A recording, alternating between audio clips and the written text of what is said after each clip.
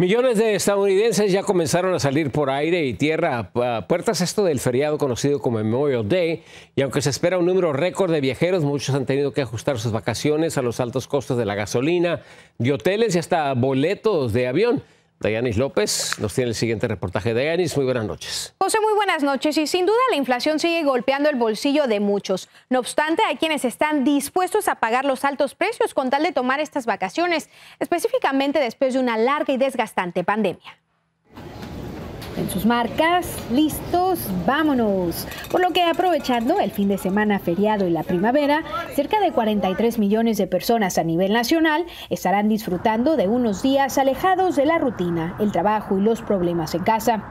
A nivel nacional estamos viendo un aumento del 7% en cuanto a la cantidad de gente que va a viajar eh, con respecto al año pasado. Estamos muy cerca de superar los números prepandemia. La página de encuestas TransUnion señala que sin importar la inflación, el 54% de los hogares en el país planean viajar durante esta primavera y verano. Incluso muchos usarán sus tarjetas de crédito. Usually you can save some money if you plan ahead of time, but that was definitely not the case this time.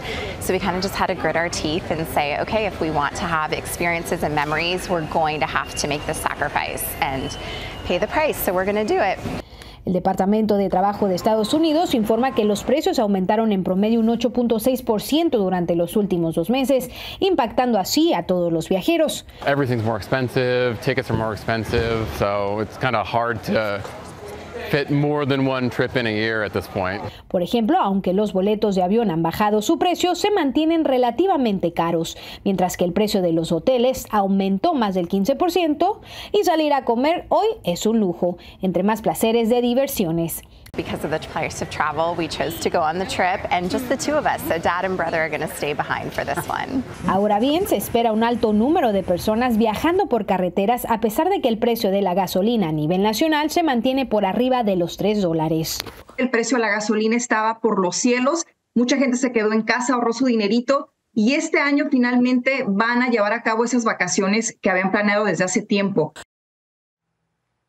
Y los expertos recomiendan a las personas a planear con al menos cuatro meses de anticipación sin importar si sus vacaciones son cortas o largas. También buscar y comprar precios en hoteles, aviones y actividades en línea. Y sobre todo ajustar sus vacaciones a sus presupuestos. José.